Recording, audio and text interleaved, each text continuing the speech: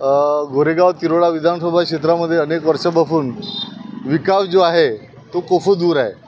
आणि त्या विकासासोबत जे आपण मागच्या वेळेस जो आंदोलनं केले होते आणि लोकांसाठी लढण्याची जी इच्छा होती मी ग्रामपंचायत जिल्हा परिषद आणि पंचायत समितीला पण मी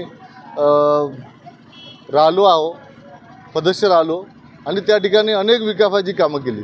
परंतु गोरेगाव क्षेत्रामध्ये फिरत असताना शेतकऱ्यांची बेरोजगारांची त्यासोबत महिलांची अवस्था आपण पाहिली आणि रोड रस्त्यांची अवस्था बघितली तर या क्षेत्रामध्ये तसा काही त्या पद्धतीनं विकास झालेला दिसत नाही.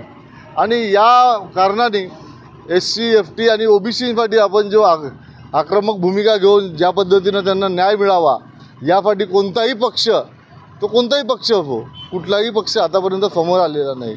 आणि त्यामुळे कुठलाही पक्ष समोर येत नसल्यामुळे मी निर्णय घेतला की भाई यावेळेस आपण अपक्ष उमेदवारी टाकली आणि माझा निशाण जो आहे हा ट्रक आहे बारा नंबरची बटन आहे आणि सर्वांना मी या निमित्तानं जाहीर करू इच्छितो की आपण सर्वांनी ट्रकच्या समोरची बटन दाबावी जेणेकरून आपल्या क्षेत्राचा विकास घडेल आणि नवीन माणसाला संधी मिळेल. ज्या पद्धतीनं जुनेच लोक आतापर्यंत येत आहेत जुन्या लोकांना च लोक चान्स देत आहेत परंतु नवीन विकास घडवण्यासाठी नवीन लोकांना जोडण्यासाठी या तळागाळातल्या लोकांसाठी काम करण्यासाठी गरज आहे आणि त्याची गरज मनोज डोंगरे भरून काढतील असं मला वाटलं. आणि त्या निमित्तानं मी हा उमेदवारी अर्ज दाखल केला. लोकांपर्यंत जात आहो लोकांचा विश्वास त्या निमित्तानं मिळत आहे.